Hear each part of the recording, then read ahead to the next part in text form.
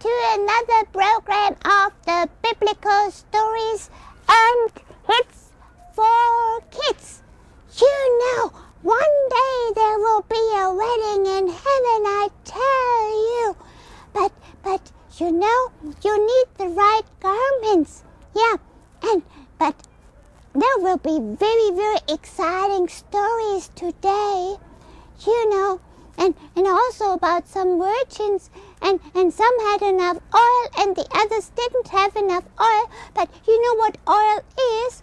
Oil is a symbol for God's Holy Spirit. So we need God's Holy Spirit uh, in a full measure. We should ask God to fill us totally with the Holy Spirit because there will be times coming which will be not so easy. So if we have enough Holy Spirit, then we will be invited to to the heavenly wedding and and we will be ready when Jesus comes back and and but oh I don't want to tell everything at once.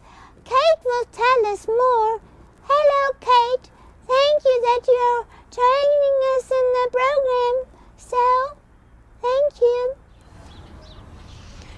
Today we're going to hear several stories. The first about a king who's preparing a special wedding feast for his son, and about the guests that he invites, those who come and those who do not come.